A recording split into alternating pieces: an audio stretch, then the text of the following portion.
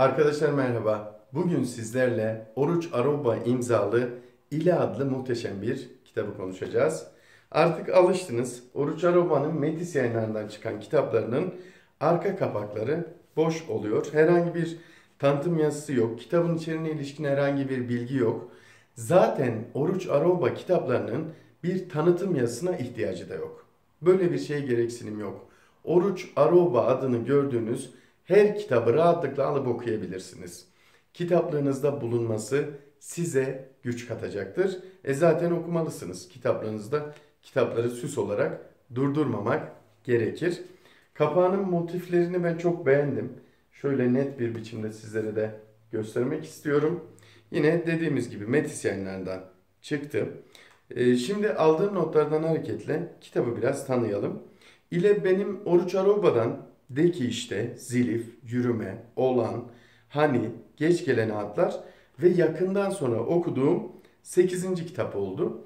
231 sayfalık felsefi bir deneme kitabıdır ile kitapta aldatma, ayrılık, aşk, bağlılık, bağımlılık, beklemek, cinsellik, güven, ilişki, ilişkide bireyin nesneleştirilmesi, karar vermek, kıskanmak, kişi, kuşku, kuşkulanmak, pişmanlık, sevda, sevgi, özlem, yabancılaşma, yalan ve yalnızlık gibi temalardan hareketle kadın erkek ilişkileri için adeta bir rehber sunuluyor okura.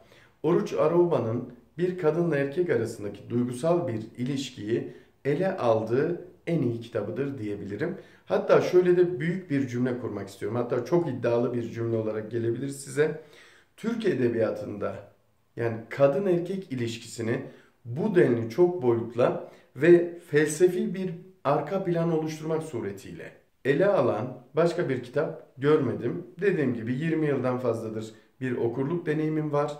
Bu deneyim sırasında böyle nitelikli bir kitaba daha denk gelmediğimi rahatlıkla söyleyebilirim. Bir ilişki ve onun etrafındaki diğer bileşenleri yoğun bir anlatımla ortaya koyan Arauba'nın bu eseri önce ilişki defteri ve sonra olmak üzere 3 bölümden oluşuyor. Oruç Araba kitaplarında bu bölümlere ayırma durumu söz konusu. E, bölümler altında inceliyor ve belli bir temaya uygun olduğunu düşündüğü ifadeleri, çıkarımları, duygu ve düşünceleri o bölümler altında okura sunuyor diyebiliriz. Yine aldığım notta da şu geçiyor. Türk Edebiyatı'nda ilişkiler üzerine yazılmış en iyi kitap. Açık Ara iledir. İle böyle bir kitaptır. Zaten şöyle de bir şey var ya arkadaşlar. Leyla ile Mecnun deriz. Kerem ile Aslı, Ferhat ile Şirin. İle bağlaç olarak biraz da Doğu toplumlarına yani bizlere ait bir bağlaçtır. Yurt dışına baktığımız zaman işte yabancılar daha çok V'yi kullanırken biz ileyi kullanırız. Leyla ile Mecnun deriz. Biraz önce saydığım örneklerde de görüldüğü gibi İle'nin bir bağlayıcılığı vardır. Birlikte bir anlam bulma vardır. Bu nedenle de biz İle'yi daha çok seviyoruz diye düşünüyorum. Oruç Aroba'nın kitabına İle adını vermiş olması da kesinlikle tesadüf değildir. Oruç Aroba kitaplarında bunlara dikkat edin. Başlıktan kitapta yer alan bütün sözcüklere, bütün cümle ve ifadelere kadar hiçbiri yersiz değildir. Bir tanesini çıkardığınızda metnin anlam bütününe zarar vermiş olursunuz. Sıradan bir cümle gibi durabilir ancak o cümlenin, o ifadenin diğer ifadeleri destekler ya da çürütecek nitelikte bir işlevi vardır. Oruç Aroba eserlerinde buna son derece dikkat eder. Şimdi isterseniz alıntılara geçelim. Oruç Aroba ile 15. Anlam her şeydir. 15. Her işlenlik çabası gidiyor, dolan başlı ilişkilerimizde kurduğumuz sahteliklere çarpıyor. 17. Güvenim yitikti. Bir daha geride gelmez güven. Bir kez yitince sonsuza dek yitiktir. O zaman şu kararı verdim. Onun sözlerine inanacağım. 19. Sana o gün arabada söylediğim ve pek kelek bulduğun lafın anlamı da burada yatıyor. Bana kararsızlıkla gelmemelisin. Geleceksen özgürce ve bilinçli bir istekle gelmelisin. 19.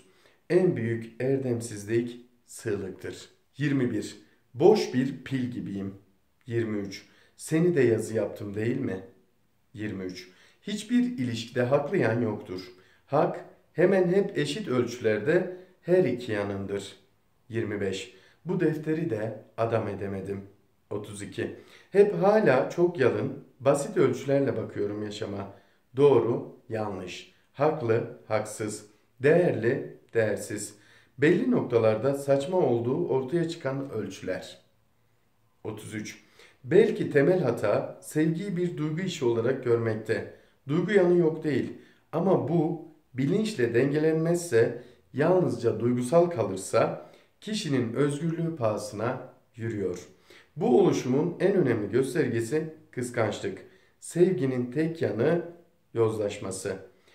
Akıl dışı hale gelmesi, bilgiyi çeler hale gelmesi, sevginin iki kişinin ilişkisi olmaktan çıkıp bir kişinin ötekine yönelik bir tutumu haline gelmesi. 34. Belki de benim düşündüğüm kişi hiç değilsin. 36. En değerli hayalimdin sen. Kendini yıktın. 38. Ben vardım, sen kendini yok etmeyi seçtin. 44. Yapanları da kendi içine alan ama yapılanlardan da, yapanlardan, onların toplamından da büyük olan bütün. 48. İlişki nedir? Birlikte bir şey yapmaktır. 49. İki kişi ilişkilerini onu olduracak kadar kuramazlar. Ama öldürecek kadar bozabilirler yaptıklarıyla. 52. İnsanın dili yoksa hiçbir şeyi yoktur. Zaten şu ya da bu biçimde bir dili olmayan insan yoktur ya da insan değildir. 52. İnsan sözdür. 53.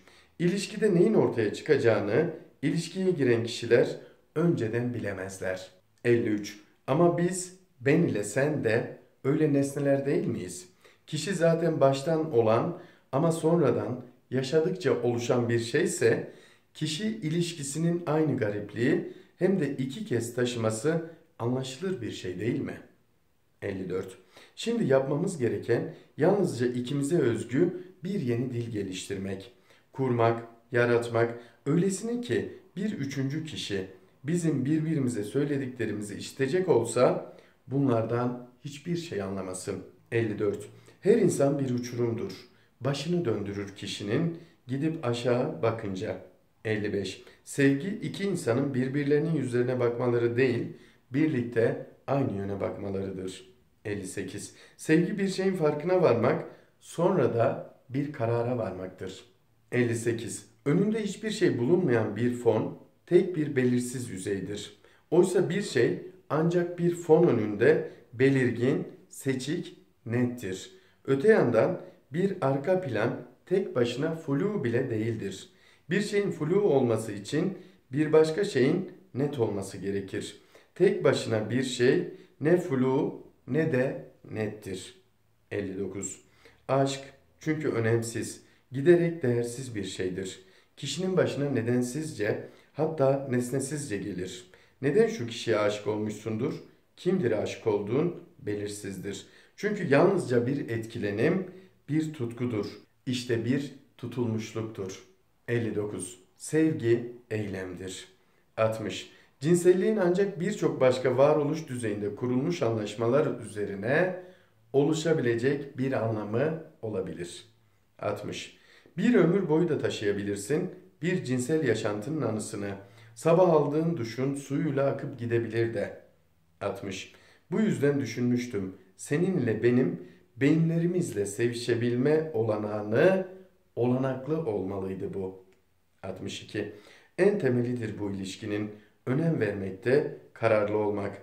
Bunun önemi de hiçbir ön düşünce taşımamasında, öyle kendiliğinden oluşu vermesinde sanki.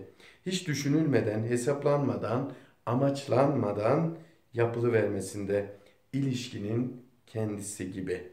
64. Kişi kendini tam olarak bilemez. 64. İlişkinin kendi ontolojik garipliği kadar garip bir epistemolojisi vardır. 65. Öyle en baştan bir yerde yoktur ki sevgi, sonradan oluşur, olur.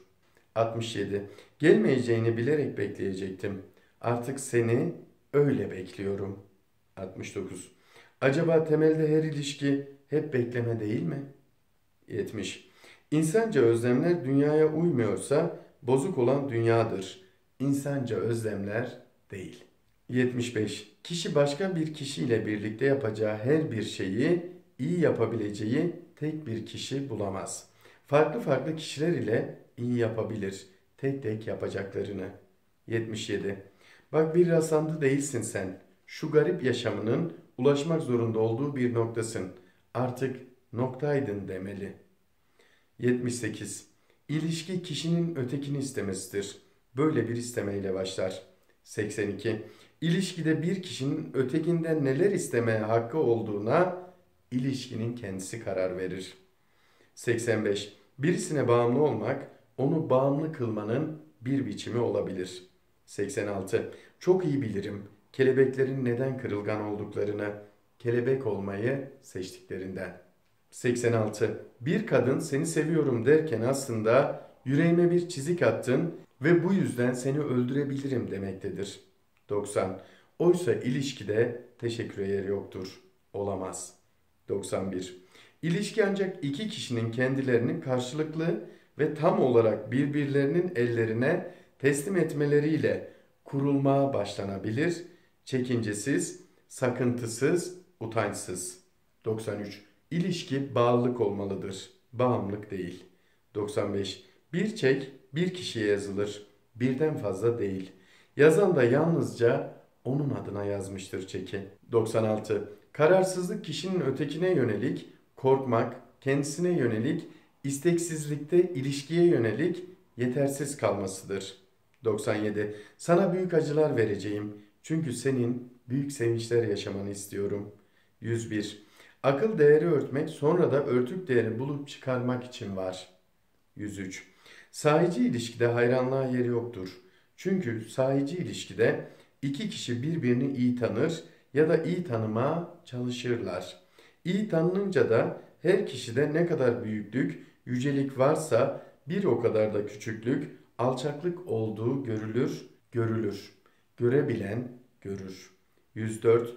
Sevmek içini açmaktır. 106. İlişkinin özünde vardır ötekini düşünmek. Bir de öteki için düşünmek. 106. Kişinin elinde değildir ki merak etmemek, seviyorsa. 109. Sevgi bir kişinin kendisini bekleyen, bir kişinin kendisini beklediğini bilmesidir. 110. Sevgi bir kişinin öbür kişiyi beklemesi, öbürünün de beklendiğini bilmesidir. 111. İlişki bizdir. 117. Ayrılış ilişkinin kayıp çocuğudur. Özlem de sevginin ikiz kardeşi. 119. Birisine acı vererek bir şey yapmak için oysa ona önem vermemiz gerekir. Yoksa işte aldırmayız, boş veririz. 122. Birisini sevmek ölümü onunla birlikte istemektir. 123. Özüre yer yok ilişkide. Varsa da ilişki yoktur. 123. Ya tamdır ilişki ya da yok. 125. Her şey bir gün biter. 127. Her ilişkinin kendi bir iç zamanı ve uzamı vardır. Onların içinde oluşur. Bu yüzden hiçbir ilişki bir başka ilişkiden önce ya da sonra değildir. Her biri ötekilerle hem iç içedir hem de onlardan apayrı. 127. İleriye doğru öngördüğünde de son diyebileceği bir ilişki saptayamaz. 127. İlişki saptanamaz. İşte kapsanamazdır. 143. Kişi bencil sayılabileceği durumlarda bile değerli olabilecek şeyler yapabilir. 155. Sevdiğin bilemediğindir. 156. Bilmek ki bu dünyanın en önemli şeyidir ve bunu gerçekleştirmeye çalışmak zorundayız. 157. Bu Türkçe çok garip bir dildir. 158. İki kişi tam, eksiksiz özleriyle birbirlerine ulaşamazlar. 158. Hiçbir kişi tam özünü bulamaz. 160. Güven ilişkide çok temel bir yer tutar. 168. Ne kadar seversen o kadar nefret edebilirsin. 174. Sadakat kişinin kendinde bir kişiye bir yer ayırması ve o yeri hep onun için korumasıdır. 175. İlişkide aldatmak olmaz. Varsa da ilişki artık yok demektir. 175. Aldatabiliyorsan sevmiyorsundur. Seviyorsan da aldatmak elinden gelmez. 175. Birisiyle konuştuklarını benden gizleme gereksinimi duyuyorsan hiç ilişkimiz yok demektir. 176. Yalan ilişkide bir çentik açar. Şöyle düşün. Bir yük taşıyan bir nesnede diyelim balkon çiçekliğini tutan askılı bir kolda bir çentik oluşursa taşıdığı ağırlıktan dolayı dokusu yavaş yavaş yırtılmaya, yarılmaya başlar. Giderek tamamıyla kopabilir. 176. Yalan çünkü zaten kendi kendini çoğaltan, çoğaltmak zorunda olan bir şeydir. Her yalanını gizlemek için yeni, ek yalanlar söylemek zorunda kalırsın. Bunun yaratacağı zedelenmeler, gedikler de işte öyle sürüp gider. Ve sonunda bütün yapıyı yıkacak boyutlara varabilir. Yalan ilişkiyi kopartır sonunda. 176. Yalan temelde yalan söyleyenin kendine yaptığı bir şeydir. Yalan söylediği kişiye değil. 178. Daha çoğunu bekliyordun, daha azını buluyordun. 180. Her ilişki kendi içinde tam ve tamamdır. 181. İlişkiyi kurmak için ne az şey vardır kişilerin ellerinde. Oysa bozmak için ne çok bulunur. Kendilerinde de, dünyada da. 182. Yaşamak, yaşanmak tüketir bir ilişkiyi. 183. Özledim diyemediğine göre ilişkimiz tükenmeye yüz tutmuştu demek ki. 185. Ayrılma tek kişilik bir edimdir. Ayrılmak isteyen ayrılır. 192. Hiçbir ilişki eksik değildir. Her ilişki o kadarıyla, o biçimiyle, o süresiyle tamdır. 192. Her ilişki tamamlanmadan biter. 192. Tamdır her ilişki, tamamlanmadan tamamlanır. 201. Kuramadım onu gereğince. Sana da yeterince ulaşamadım. Bu beceriksizlik yalnızca benden mi kaynaklanıyordu? Onu da bilemiyorum. Muhtemelen öyledir. Ne sen ne de ilişkinin kendisi. Yalnızca ben sorumluyum bu başarısızlıktan. 204. Her şey olsun diye giriştiğimiz ilişki sonunda hiçbir şey olup yitiyor. 212. Zaten söylenecek bir şey de kalmadı. Artık bağışla beni. 223. Kişi sevdiğini hep sonradan mı anlar? Sevgili arkadaşlar alıntılar bu kadar. Sizlerin de göreceği üzere çok sayıda satırın altını çizdim. Hatta şu şekilde bir bölümü göstermek istiyorum. Bakınız komple çizdiğimi söyleyebilirim. Bitmeyen bir, bir tükenmez kalem yanınızda mutlaka olmalı. Eğer kitap size aitse. Yoksa da birinden almışsanız ya da bir kütüphaneden almışsanız ileyi kesinlikle yanınızda çok iyi bir kalem tabi yine olmalı. Aynı zamanda da bir ajanda ya da defter bulundurmalısınız. Bu kitabın şöyle de bir yönü var. Bugüne kadar yaşadığınız ilişkileri bir gözden geçirme, adeta bir bunun muhasebesini yapma ve gelecekte yaşayacağınız ilişkileri içinde zihninizdeki, işte ruhunuzdaki, yüreğinizdeki ilişki tanımını yeniden daha da geliştirerek, daha da genişleterek katmanlı ve karmaşık bir hale getirebilecek düzeyde bir kitaptır. Yine söylüyorum felsefi arka plan çok geniştir. Bir ilişki için böyle şey düşünülür mü dersiniz ama işte güven, yalan, aldatma, ilişkide yani sen özür dilenebilecek bir şey yapmışsan o ilişki içerisinde üzerine düşeni yapmamışsın, yapamamışsın. Bu konuda muktedir olamamışsın demektir. Tam manası da bu anlama gelir. Ve diyor ya ilişkide teşekküre de yer yoktur. Dikkat edelim mesela ilişki içerisinde teşekkür ederiz birbirimize. Ama bunun yerine o hoşnutluğun farklı şekillerde dile getirmesi gerektiği kanaatindeyim. Çok beğendiğim bir kitap oldu. Fakat okuduğum bitti kitaplardan değil bu. Alacaksın bunu zaman zaman ihtiyaç duydukça bir ayrılık sırasında okuyabileceğin gibi bir ilişkiye başlamadan önce bir ilişkin varsa devam ederken de kesinlikle bu kitabı okumalısın. Adeta bir ilişki rehberidir. Oruç Aroba muhteşem bir şekilde coğrafyayı da baz almak kaydıyla bu coğrafyanın insanını anlatıyor Oruç Aroba. Doğrusuyla, yanlışıyla, özlemiyle, sevgisiyle, başarısıyla, yenilgisiyle, her yönüyle. Bu şekilde olaya böyle bakmakta fayda olduğu kanaatindeyim. Peki bu kitap kimlere hitap eder? Özellikle üniversite birinci sınıftan başlamak kaydıyla sadece kurmaca kitap okuyanlar değil, felsefi kitaplara da ilgi duyan okurlara kesinlikle hitap edebilecek düzeyde çok nitelikli bir kitaptır. Toplam 232 sayfalık müthiş bir kitap. 232 değil, 2320 sayfa olsa da diğer kitaplar, diğer yazarlar ve diğer eserler bir kenarda bekleyebilir. İle okunmadan diğer kitaplara geçmemek gerekir. Dediğim gibi benim çok sevdiğim, kesinlikle öneri sıralamamda üst sıralarda olan kitaplardan biridir. Ama herkese önerilmez bu kitap.